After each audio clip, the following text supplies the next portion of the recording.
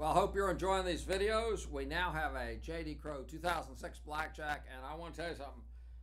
These banjos are extraordinarily rare and extraordinarily hard to get, and I just happen to have one. So uh, we'll play it. They sound great, and uh, here we go.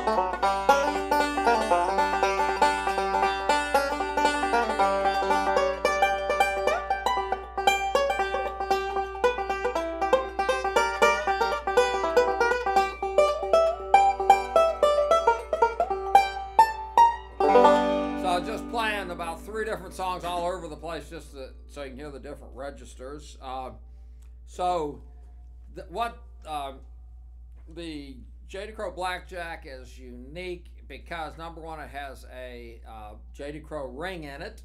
Okay. Number two, it's copper flashed. Okay, and that gives a different ta- uh, sound. And it's mahogany. Okay, most of the time you see the this gold look with uh, curly maple. Okay, so J.D. Crowe really liked this combination of uh, the, the copper flashing, which is like gold, and the mahogany sound. So here's what it looks like. And you'll also see that all the parts are engraved. The tailpiece has engraving, the armrest, and we'll turn it to the side and even do a close up. And this is somewhat rare because Gibson uh, only engraved tone rings, which you can see this one's engraved on all their really high end, really fancy models. So this has an engraved uh, tone ring, and you can go up the uh, fingerboard, and this is an actual Gibson pattern, um, but Gibson changed their patterns as they went into production, made them simpler. So this is an historic Gibson pattern, which is very complicated. And we'll turn it over, and here we have the keys. And what you'll notice is this was uh, professionals uh, made this into a speed neck, okay? And what that does, that really lets you play the uh, banjo fast, hence the word speed neck.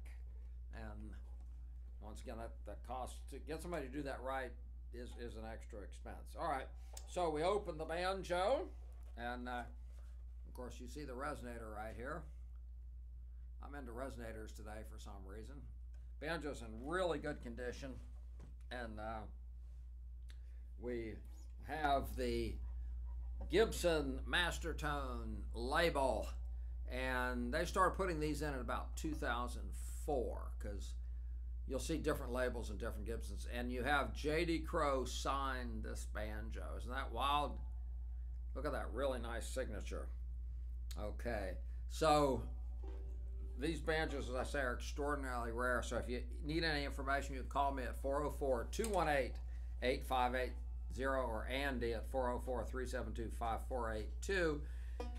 And if you want to come in and visit us anytime, seven days a week, and call us because we may be out looking for banjos. Uh, I know a lot of you have Sky Miles. We've had people fly into the airport. We pick you up, spend four, four, five, six hours, whatever you want to spend, play these banjos, compare. So, so you're going, well, what's the difference between this and a regular JD Crowe? Well, we have both of them, so you can compare them.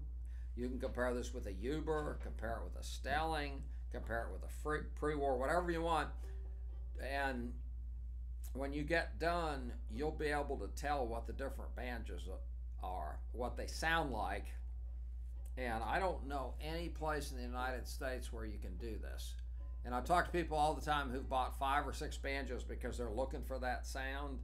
And had they been able to compare them, obviously, you know, one or two of the five or six would be their favorites. So now they've got to resell three or four banjos that that uh, you know that aren't as that don't like as well as their favorite. But anyway, so hopefully this this will help you to uh, better learn what the different models sound like. So you guys have a great day and uh, play some banjo today.